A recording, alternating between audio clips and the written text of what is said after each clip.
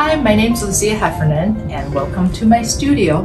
This is where I paint and where I construct the stories and everything. I paint animal doing human things, and um, I've been drawing ever since as long as I can remember. My mother was an art teacher. I always have a pencil in my hand, and um, and I always I know always know I want to be an artist. Um, so when I got a degrees in BFA after college, I had a design minor, but back then I left to run an agency in New York City, a design agency in New York City for over 10 years. And it's not until we sold the company in New York, we moved to Utah, and I started painting again.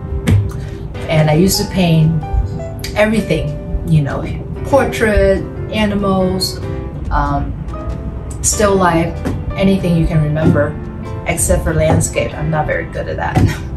but animals always have a special place in my heart. I love animals. I love their innocence. They're beautiful.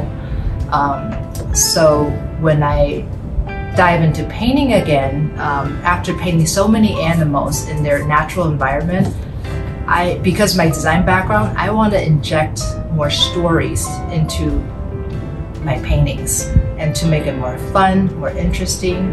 Um, I began humanize them, um, putting them into human situations so people can relate to them. Um, so, for example, these are my yoga chicks. Um, I never paint anything twice because there's too many ideas. I just want one original to be one originals.